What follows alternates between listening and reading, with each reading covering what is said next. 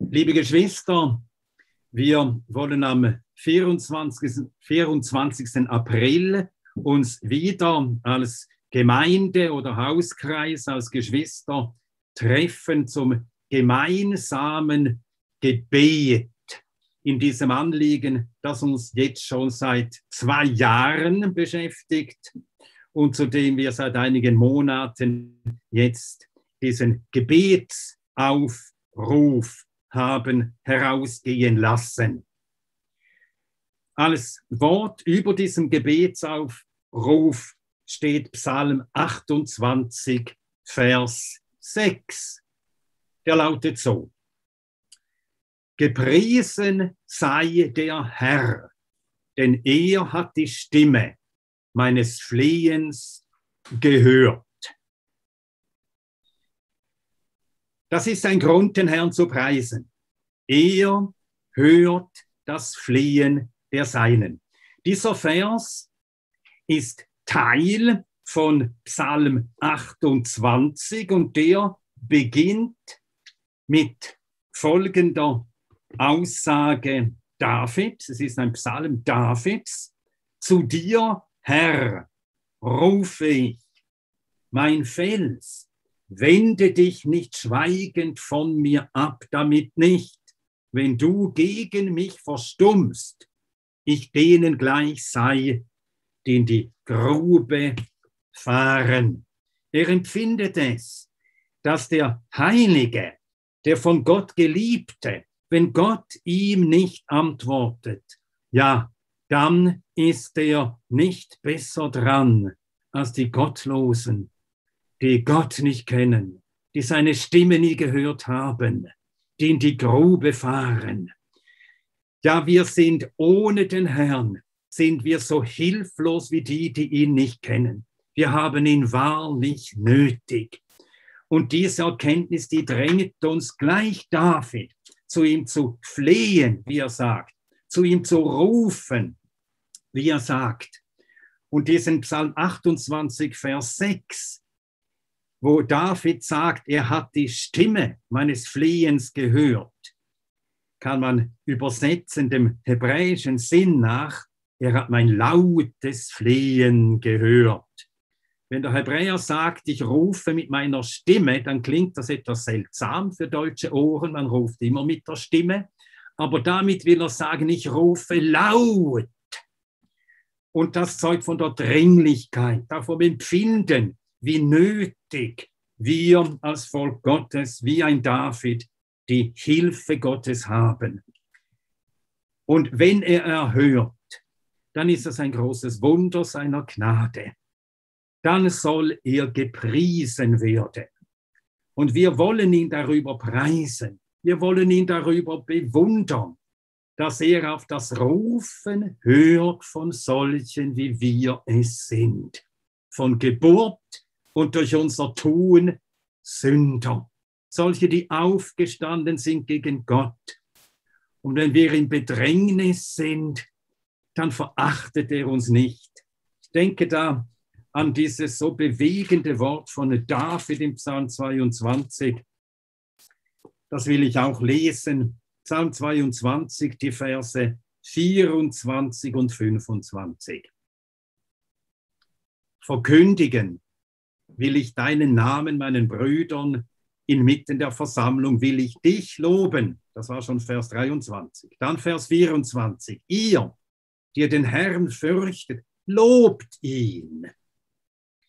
Alle Nachkommen Jakobs verherrlicht ihn und scheut euch vor ihm, alle Nachkommen Israels. Denn, und jetzt kommt eine Begründung, warum wir ihn loben sollen. Denn er hat nicht verachtet, noch verabscheut das Elend des Elenden. So ist Gott. Wir sind ja im Elend der Sünde wegen, die durch uns in die Welt gekommen ist, wie Paulus sagt, gleich wie die Sünde durch einen Menschen in die Welt kam. Römer 5, Vers 12. Und doch lässt uns Gott nicht in der Not allein, obwohl wir es verdient hätten. Er hört uns. Er hört das Seufzen der Bedrängten. Psalm 12, Vers 6. Psalm 12, Vers 6. Wegen der gewalttätigen Behandlung der Elenden, wegen des Seufzens der Armen, will ich nun aufstehen, spricht der Herr. Ich will in Sicherheit stellen den, der danach verlangt. Und aus diesem Lob, aus diesem Lobpreis, das aus unseren Herzen zu Gott emporsteigt, weil er uns hört und weil er auch in den vergangenen Wochen bewiesen hat, wie er das Rufen der Seinen hört, wie er eine überraschende Wende gebracht hat, auch in Deutschland, wie der Bundestag anders gestimmt hat, als zu befürchten war. Darum preisen wir ihn, rühmen wir ihn. Und aus diesem Lobpreis steigt ganz organisch Gebet. Wenn wir Gott rühmen, wenn wir Gott preisen, dann tun wir es, weil wir ihn erkannt haben, wie er ist, wer er ist. Und das bekennen wir vor ihm. Und aus dieser Erkenntnis fließt ganz organisch Gebet, dieses Vertrauen zu Gott, dass wir zu ihm rufen dürfen, dass er uns hört, dass Gott, unser Heiland, ein starker Helfer ist, der helfen will und zu helfen vermag. Und wenn wir jetzt beten am Sonntag, den 24., dass Gott weiterhin wirke in der Obrigkeit, wirke in den zuständigen Beamten, die Entscheidungen treffen in dieser ganzen Corona-Sache, dann denken wir an Daniel 2, Vers 21. Davon sollten wir immer wieder bei unseren Gebeten für die Obrigkeit und für das Entscheiden und Schalten und Walten derselben ausgehen. Daniel 2, 21.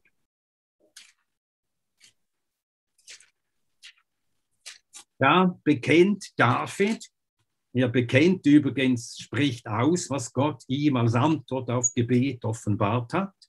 Daniel 2, Vers 21. Ich lese auch den Vers 20, weil auch Daniel nach Erhörung seiner Bitten zuerst lobt, wie es sich gehört.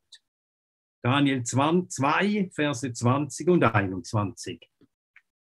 Daniel hob an und sprach, gepriesen sei der Name Gottes von Ewigkeit zu Ewigkeit, denn Weisheit und Macht sind sein.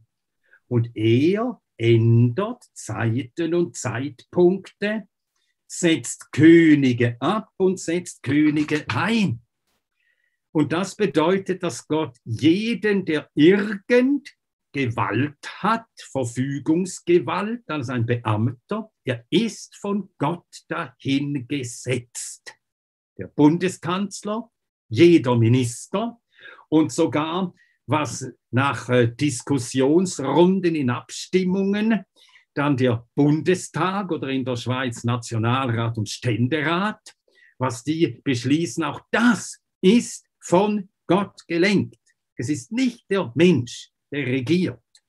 Gott regiert durch die Gewalten, die er eingesetzt hat. Und das gibt uns große Freimütigkeit zu beten. Sie sind alle in seiner Hand. Auch wenn sie es nicht wahrhaben wollen, auch wenn sie es nicht wissen, sie sind in seiner Hand. Und sie sind so lange dort, wie er sie dort hält und keinen Tag länger. Und er hat Gewalt über ihre Entscheidungen obwohl sie auch so etwas nie wahrhaben wollen. Aber es ist so, wie in Sprüche 21.1 steht. Wasserbächen oder besser Wasserläufen gleich ist das Herz eines Königs in der Hand des Herrn. Wohin immer er will, neigt er es. Und das geschieht immer wieder. Wir hatten ja in der Schweiz ähnliche Einschränkungen wie in Deutschland, nicht ganz so scharf, aber trotzdem massive Einschränkungen für das Gemeindeleben, für das öffentliche Leben. Und mit einem Mal das war im Februar, mit einem Mal hat der zuständige Bundesrat Alain Berset eine 180-Grad-Wende gemacht. Mit einem Mal gesagt, so, jetzt besteht kein Grund mehr, diese Einschränkungen weiterhin aufrechtzuerhalten. Auf den Termin werden sie aufgehoben und genauso geschah. Und so dürfen wir dem Herrn vertrauen, dass er auch äh, den in Deutschland zuständigen Minister Karl Lauterbach, dass er auch dessen Entscheidungen lenken kann. Mit einem Mal. Gott kann das wirken, dass er mit einem Mal um 180 Grad dreht. Und wir wollen zum Herrn rufen, dass er das Herz derer, die in dieser Sache dann schlussendlich entscheiden, lenkt. Und wir wollen auch rufen und beten für die Geschwister, die darunter leiden unter den Einschränkungen, unter der einrichtungsbezogenen Impfpflicht, die noch da ist. Wir wollen beten, dass der Herr sie befähige, ihm zu vertrauen dass sie nicht den Mut verlieren, dass sie sich auch richtig verhalten, dass sie richtig entscheiden in schwierigen Fragen.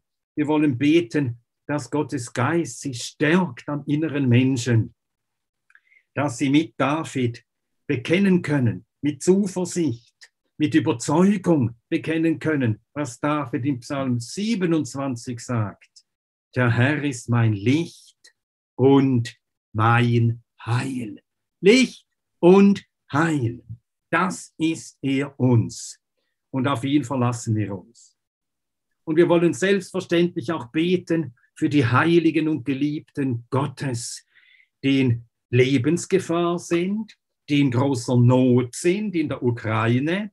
Wir wollen beten, dass der Herr sie bewahre, sie beschütze, sie versorge mit allem Nötigen. Wir wollen beten, dass er sie zu Lichtern macht, dass sie Helfer und tapfere, mutige Bekenner sein können für ihre Landsleute. Ja, und wir wollen beten. Wir wollen beten, dass Gott das wirkt, was auch er allein wirkt. Im Psalm 147, 14, dort steht tatsächlich, dass es Gott ist, der Frieden setzt in unsere Grenzen. Und in Psalm 46, in den Versen 9 und 10, äh, ich zitiere jetzt einmal nach meiner eigenen Übersetzung,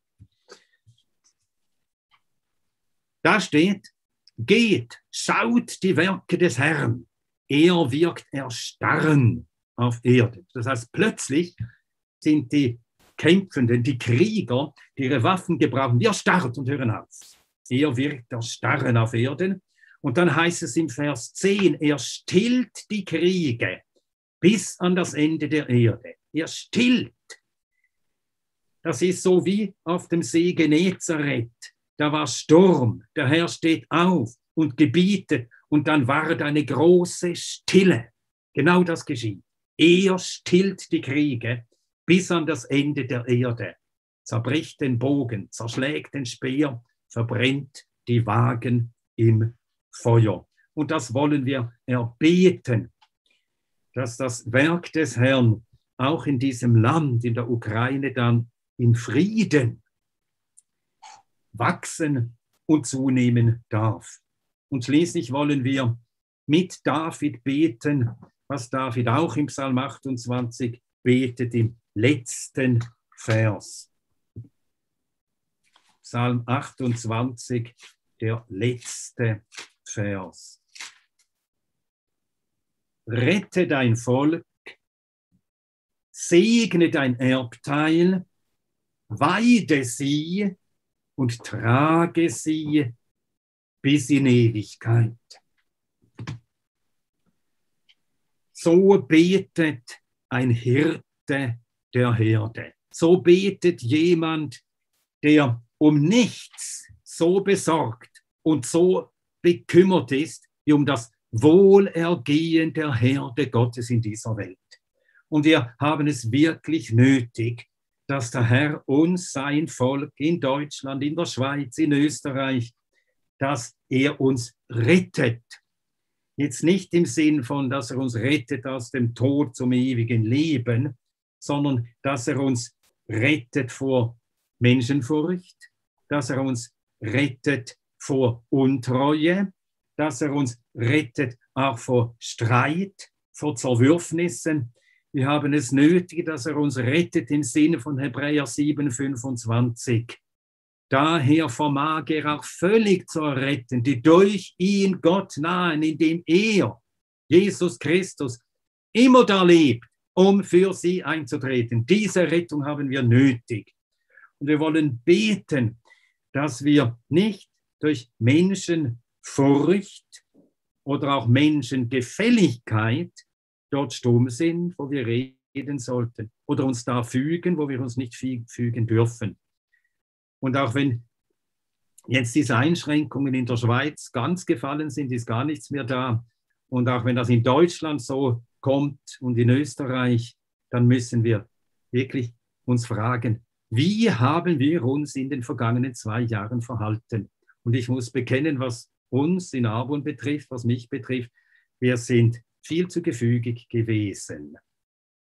Wir haben uns zu viel gefallen lassen. Es ist nicht recht gewesen. Wir wollen beten, dass der Herr uns den Glaubensmut gibt, uns in solchen Situationen recht zu verhalten, dass er uns auch bewahrt vor Selbstzufriedenheit, dass er uns überführt, wo Selbstzufriedenheit da ist, dass er uns rettet auch vor Unbußfertigkeit. Und dass er uns segnet ja, wir haben es nötig, dass er uns heimsucht, dass er zu uns kommt, dass er uns nahe ist, dass wir seine Nähe erfahren, dass er uns durch seinen Geist erweckt und uns trägt. Trage sie bis in Ewigkeit. Wir haben es nötig, dass er uns tragt. Wir können uns selbst nicht halten, wir können uns selbst nicht tragen. Wir haben ihn nötig. Und dafür danken wir ihm. Amen.